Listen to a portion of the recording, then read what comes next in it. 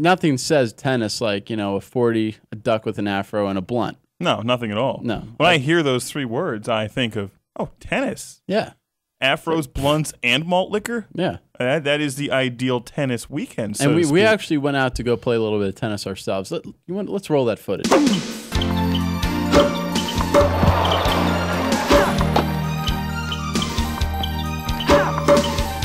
As you can see from that footage, Dave and I, we didn't make the professional tennis league because they're biased against us as video game show hosts. Yeah. We're obviously skilled enough to play tennis against the pros. Agassi, who's that? Yeah. I mean, really. Take you out in a second. Let's see some footage. This game started out as an arcade game in Japan and successfully translated itself into a Dreamcast game. One of the best Dreamcast games, I must say. It's Virtua, fantastic. As you can see here, there's a nice selection of characters. There's eight of them that you get right away, and, And there's three on, I unlocked. I might add they're Virtua tennis characters, and they play Virtua tennis on a Virtua tennis court with Virtua tennis balls and a Virtua crowd with Virtua crowd noise. with Sega's Virtua rackets and Virtua strings. Virtua 40s that we Virtua love. Now, as you can tell here, unless you're an idiot, this is the one-on-one part, and there's also doubles in tennis if you're a double idiot.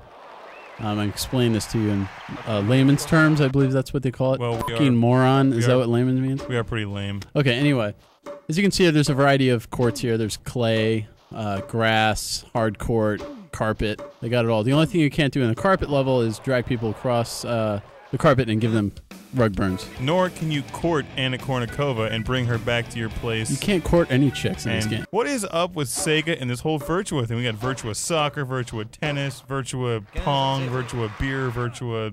They don't have Virtua Beer or Virtua Beer Pong, so let's They- not get they- ahead of ourselves. They should have that. Yes. Though. Now on with the game description here. Now with this game, there's two versions, uh, two ways to play this game. There's the arcade version, and then there's the season mode. Now, with the arcade version, it's just a straight shot. You play six matches, uh, single player or double, and if you win, great, you get the freaking uh, gold cup. Uh, if not, you blow. Uh, that's the same with the first with the one player one. You know, you play six matches, you win, great.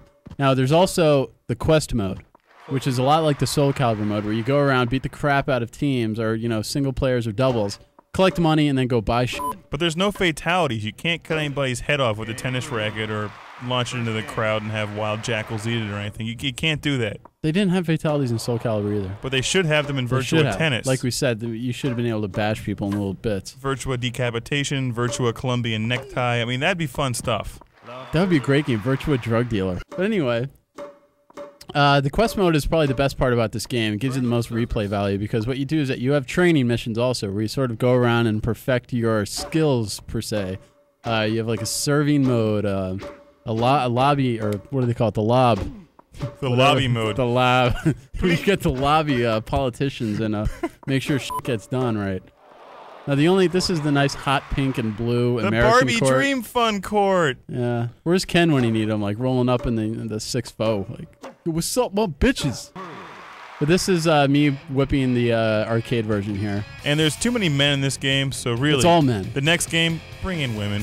And what's really cool about this game now, like besides the fact that it's all men, is that uh, you get to you get eight characters right off the bat, and then throughout playing the quest mode, gaining money, you get to buy extra characters, extra clothes. You get to buy like enhancements of your racket. Yes, I'll have Wolverine. You get to buy boards. and they have that guy named Tesla. Yeah.